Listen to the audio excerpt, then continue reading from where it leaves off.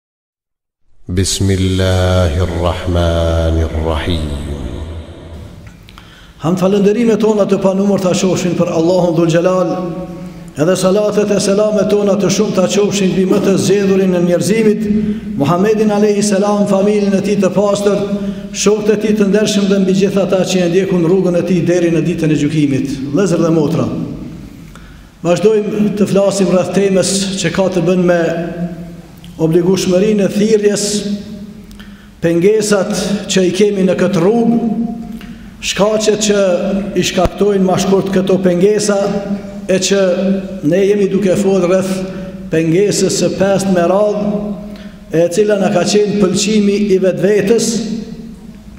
Një prej vërtet pengesave shumë të rënda kisha me thënë me të cilën paska mundësi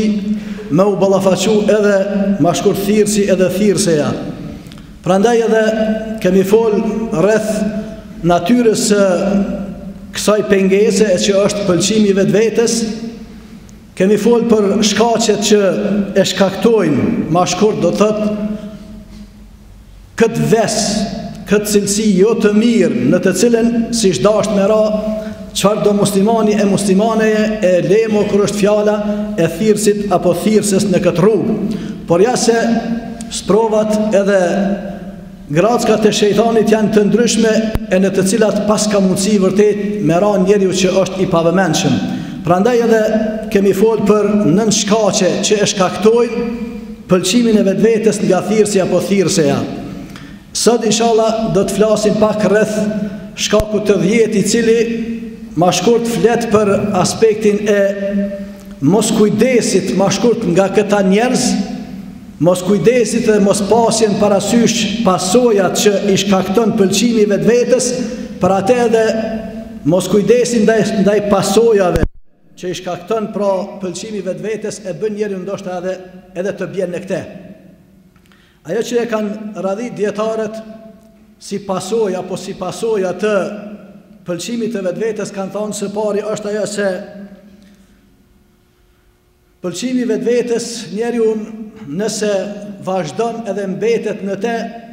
nuk mbetet vetëm me pëlqim të vetvetes por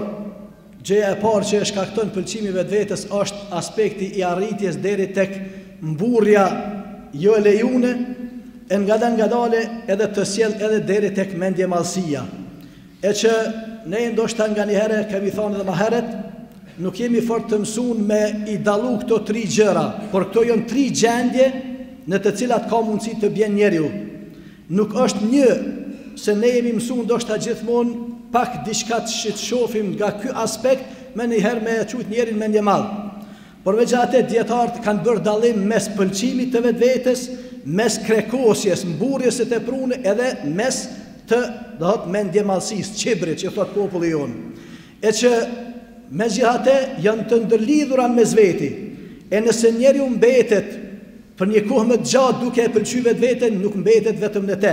por kalon edhe deri tek aspekti i krekosjes. Edhe këte gurur që e qun dhe ma shkurt gjuha e Kur'anit dhe Sunetit,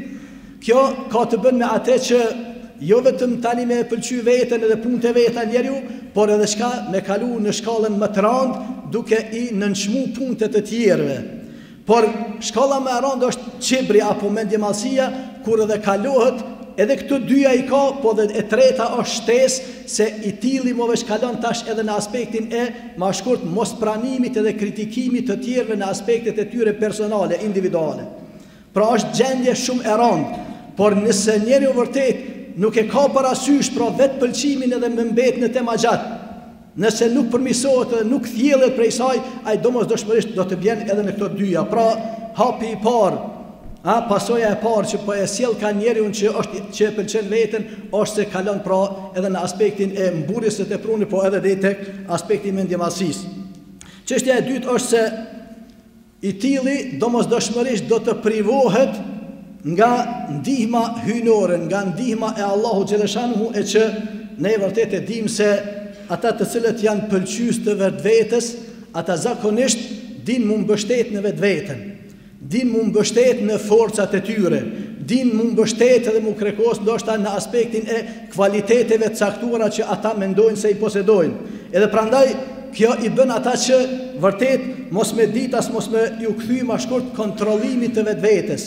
Mos me ju kthy marrjes së vetes në pyetje atë që na sa herë e përsërisim nëpër derset tona e që Na porosit Allahu, na porosit Pejgamberi alejhi selam, kanë porosit sahabët e Omeri prej tyre që e dini fort mirë sa e sa herë e kemi përsërit, Hasibu anfusakum qabla an tuhasabu.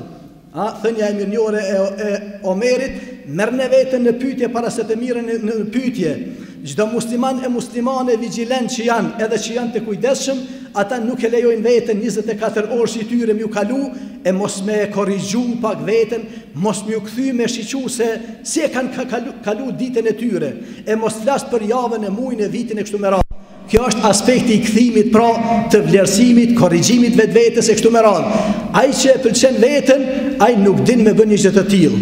Ai nuk din pra a, me kontrollu veten edhe me marrë veten në pyetje për atë, edhe i tilli ma shkurt do ta meriton me një fjalë jo ndihmën e Allahu xhelleshanuhu pa të cilën e dim se sado që të jemi të zot.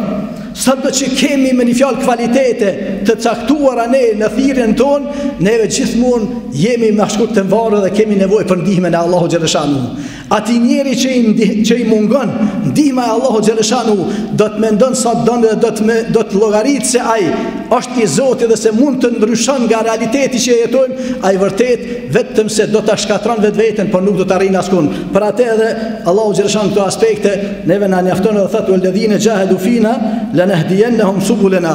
Ata të cilët luftojnë me një fjalë për tek ne, për të arrit tek ne, thotë Allahu xhelleshanuhu ne do t'i udhëzojmë ata në rrugët tona. Do t'i udhëzojmë me një fjalë kah e mara, kah e mira, por ata të cilët vërtet pra mbështeten në Allahun xhelleshanuhu jo vetëm në vetveten, jo vetëm në forcën e tyre, edhe pse vetja jonë, kontributi, kompetenca që e kemi ne duhet dhan edhe duhet vepru. Po në këtë aspekt e dini fort mirë hadithin kudsi, në cilin Allahu xhelleshanuhu na njofton kur a fjala për atë se vërtet çka është ajo që duhet pas parasysh çdo besimtar dhe besimtare nga aspekti i afrimit tek Allahu xhelleshanuhu dhe me çka niset me farzet Por vazhdon më tutje hadithi thotë ma zale abdi jetekarrebu ilejje bin-neuafil hatta uhibbeh por thotë vazhdon robi im me m'u afru mu thotë me nafile me punë vullnetare derisa një ditë ta du atë e kur Allahu xhelleshanuhu po njofton këtë hadith kudsi thotë kur ta du unë robin tim kur të është prej atyre që e ka meritu dashurinë time atëherë po tregon do thotë se ajo çashtja e ndihmës së tij për robin e tij do të jetë që edhe shiqimi i tij, edhe dëgjimi i tij, edhe dora e tij, edhe këmba e tij do të jenë ma shkurt pra të dirigjune prej Allahu xhelleshanuhu, të mbrojtura nga ma shkurt nga ramja edhe nga aspekti thotë i gjynaheve e ramjeve e gabimeve kështu me radhë. Por këtë kush e meriton? E meriton pra qaj që është vërtet i mbështetur në Allahun xhelleshanuhu që nuk është ma shkurt pëlqyes i vetvetes por e din se sado që punon edhe vepron, gjithmonë ka nevojë me e mendu edhe m'u mbështet në Allahun xhelleshanuhu, edhe gjithmonë e din se është e domosdoshme kjo ndihmë, pa të cilën nuk mund të hecë as për një ditë. Çështja e tretë e tretë që është prej pasojave të pëlqimit vetvetes, kanë llogarit dijetarët se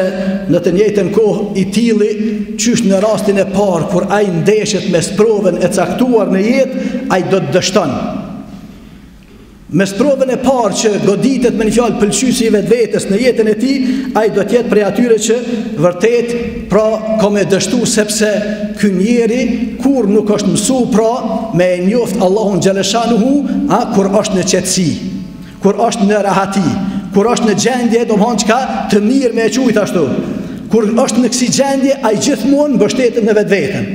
Ai mendon se është dikushi. Ai e ka pëlqy veten, i ka pëlqy punët e veta, veprat e veta, edhe thirrjen që është tu bo, edhe ftesën që po jau bën njerëzve. Edhe çka është ai që me një fjalë pra e ka harru atë se vërtet, a ky ka me pas nevojë gjithmonë edhe në qetësi, edhe në edhe në gjendje të rëndë për ndihmën e Allahu xhaleshanu. Për atë edhe i tilli do Allahu xhaleshanu njofton thot inna Allahu ma'al ladina taqaw Walladhina hum muhsinun, Allahu vërtet është me ata të cilët e, ja kanë dronë atij edhe që janë bamirës, po ja kanë dronë, me një fjalë mbështeten në te, nuk e harrojnë pra nevojën për Allahun xheleshanu, pa të cilin ne s'mund të, të lëvizim edhe një, edhe një hap me një fjalë më tutje. Por çka Allahu me të tillët është, jo me ata që eventualisht pra edhe janë prej atyre që ndoshta e harrojnë atë qysh edhe pejgamberi sa më ka porosit sahabët po edhe neve, edhe ka thon ihfazillahi tajidhu amamak ta'arraf ila Allah fi ar-raha ya'rifuka fi ash-shidda. Thot njihe Allahun xhaleshanu ma shkurt, ruje Allahun xhaleshanu do thot se ti do ta gjesh pran vetes. Ruje më ruje veten nga ramja nga ajo çka Allahu ka ndalu. Pra, nëse je i mbrojtur, i ruajtur nga kjo, nga krekosja, nga pëlqimi, nga haramet, nga këto, do ta gjesh pranë vetes Allahun xhel. Me një fjalë do ta gjesh ndihmues tandin. Do të ndihmon Allahu xhel, do të forcon Allahu xhel. Po çka prap ma tutje? Njife Allahun xhel kur je me një fjalë në qetësi, kur je më shkurt në rahatluk. Njife në këtë gjendje e mos u krekos e mos u mbështet vetveten veç. Po çka, po ti njife n'kësi gjendje që me të njoft ai kur ti do t'jesh në vështirësi. Kur ti jesh në sprov edhe në vështirësi, Allahu xhel do të njef edhe do të ndihmon. Po nëse këtë nuk e bën ti kur je në qetësi e n'rahati, atëherë dije se mbështetju vetës, pra edhe në momentet kur je në vështirësi. A do të kesh mundësi me i tejkalu, do thot vështirësit, e sprovat pa të cilat e dim se nuk jemi asnjëri prej nesh. Prandaj, duhet pra pas kujdes dhe ditë se vërtet, nëse nuk e njohim Allahun xheleshanu, kur jemi qetë, kur jemi në rahati, kur do thot ne vërtet, nuk kemi telashe, dhe kështu me radhë, atëherë le ta dim se nuk do të kemi mbështetjen as ndihmën e tij e as kur Jemi në vështirësi. Çështja e katërt është se në të njëjtën kohë i tilli do të jetë më shkurt i përbuzur edhe i urrejtur nga të tjerët. E na e dim fort mirë që vërtet ata të cilët janë pëlqyes të vetvetes, përderisa ata a e kanë parasysh vetëm veten e tyre, Ata zakonisht janë të pavëmendshëm ndaj njerëzve, por edhe njerëzit në të njëjtën kohë nuk janë pavëmendshëm ndaj tyre. Edhe e dimë fort mirë që ata të cilët janë pëlqyes të vetvetes zakonisht nuk duhen, nuk i dojnë as masat, as njerëzit, për ata edhe edhe pejgamberi alayhis salam kur o fjala në këtë aspekt njofton se i tilli përderisa vërtet është i urrejtur edhe s'e don as Allahu xhaleshanu qysh kanë me dashtë masat edhe njerëzit. Për atë kur është fjala për njërin grup edhe tjetrin, thot pejgamberi alayhis salam, vërtet që Allahu xhaleshanu kur të don një rob të vetin, e thret Xhibrilin alayhis salam edhe i thot se o Xhibril, un e du filanin, prandaj duaje edhe ti. Edhe thot pejgamberi alayhis salam e don Xhibrili alayhis salam, edhe i thret me një fjalë banorët e qiejve, melaqet tjera. Edhe ju thotë se Allahu xhaleshanu po e don filanin, dune edhe ju, duajeni edhe ju, edhe e dojnë me një fjalë edhe banorët e qiellrave. Edhe të tillit, thotë pejgamberi alayhis salam, i çelet rruga në këtë botë me një fjalë edhe është i pranushëm te njerëzit. është i dashur, është i afërt, e dojnë njerëzit të tillin. Thotë, por nëse kemi të bëjmë me tjetrin, thotë që kur Allahu e urren një njeri, një rob të vetin, E thret Xhibrilin e i thot, o Xhibril, un e urrej filanin, për shkak të punëve të këqija të tij. Thot, e urrej filanin, prandaj, thot, urreje edhe mos e duj as ti. Edhe nuk e, me një fjalë, e urren Xhibrili, edhe në të njëjtën kohë i thret banorët e qiellrave, edhe ju thot se Allahu xhaleshanu nuk po e don, po e urren filanin, urrejne edhe ju. Edhe e urrejnë, thot pejgamberi alayhis salam, gjithë banorët e qiellrave, edhe në të njëjtën kohë, atij na thot i shtrohet refuzimi edhe urrejtja dhe në tokë. Edhe me një fjalë, edhe masat edhe njerëzit, nuk do ta dojnë të tillin. Kanë me urrejt, kur Allahu e urren, po si mos ta urrejnë, thot njerëzit edhe banorët e, e, e tokës. Prandaj, vërtet duhet pas kujdes në ditë se Pëlqyesi i vetvetes, mendjemadhi, do të thotë ai që vërtet krekoset, i tilli do të jetë i urrejtur edhe prej Allahut, po edhe prej banorëve të tokës. E pesta që nuk do zgjatem ma shumë inshallah, është se i tilli në të njëjtën kohë herët apo vonë do ta godet edhe dënimi i Allahut xhaleshanuhu. Sepse, vërtet, ky njeri ma shkurt ka harru pra mbështetjen, ka harru edhe kvalitetet e caktune, edhe nëse ka kvalitete t'caktune, në kuptimin e ndoshta oratorisë, e të folurit e aspektit dhe asaj që të lëvizë, takatin e shëndetin e krejt këto të cilat harron se prej kujt i ka. Prandaj edhe ai mbështetet në vetveten, prandaj edhe është pej atyre që e pëlqen veten, prandaj i tili nëse jo më herët ai s'paku një ditë do ta arrijë dënimi i Allahut xheleshanuhu e i cili e dimë fort mirë që është në mënyra të ndryshme. Qoftë në aspektin e asaj që Allah i ka dënuar popujt e mëhershëm me din dënime të rënda prej më të ndryshmeve, qoftë me atë që është duke ndodhur sot e që vërtet ne e dimë që këtë ymet Allahu xheleshanuhu nuk e denon me denimet që kanë kalue ma herët, me aspektin e farimit, me aspektin e domethënë vërshimeve të mëdha, apo domethënë çashtjen e erërave, gjëra këto të cilat e dimë që kanë qenë të atilla që e kanë shfaros masën si masë. Po, kemi sot vërshime, kemi domethënë ndaj tsunami s'di çka domethënë gjëna t'caktuar, por ka të bën me një territor, në një gjeografi t'caktuar. Por si ymet, Allahu kët ymet nuk e denon me dënime të tilla. si tërësi, por aty këtu po, jena duke ndëgju, por këtë ymet e dimë se nuk ja ka garantu pejgamberit alejhi selam atë që po i ndodh këtij ymeti sot. Ajo që vërtet për shkak të pëlqimit vetvetes, ndoshta masat e caktuara edhe, ata t'cilët e kanë marrë mbi veti thirrjen, a, janë bërë që vërtet ata nga pëlqimi i vetvetes, a, mos t'ja pranojnë tjetrit. Të mendojnë se ata kanë të drejtë në gjithçka. Edhe çka për atë edhe osht çashtja e përçarjes. Përçarjen, Allahu xheleshanuhu nuk ja ka garantu pejgamberit alejhi selam me ja rujt ymetin pej saj. Po ka thonë ky ymet e ka dritën që është Kurani, e ka dritën që është suneti i pejgamberit alejhi selam. Ata duhet m'u mbështet në këto dyja,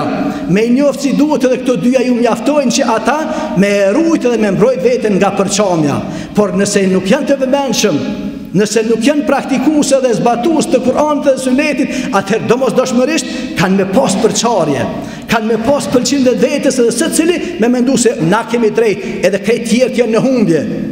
Këtë jena duke e pa edhe tek ne sot.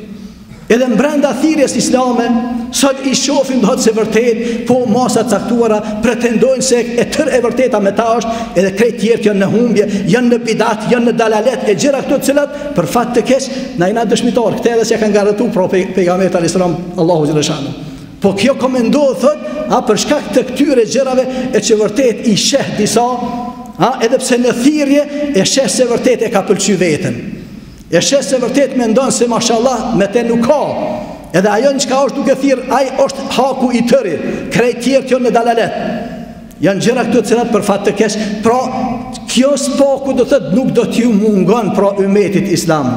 Nuk do t'ju mungon pra mospajtimi mes tyre. Çështja e përçarjes, aspekte këto që është një lloj i denimit edhe jo i vogël, po ndoshta nganjëherë disa dhe nuk e hetojnë, por për atë kjo po na bën që me gjithë pastërtinë e thirrjes tonë Me gjithë pastërtinë e islamit, me gjithë atë që vërtet s'ka të bën aspak me as me ekstremizma, as me terrorizma, as me fundamentalizma e gjëra, natë e ditë neve i ndëgjojmë nëpër media tona, nëpër televizionet tona, edhe natën e pramshit, edhe parpramshit, edhe tjera, e kështu me radhë, edhe pse e dinë fort mirë që vërtet muslimanët nuk dinë se çka është dhuna, nuk dinë se çka është imponimi, nuk dinë se çka është ekstremizmi. Krejt këto për shkak për çka po na ndeshin.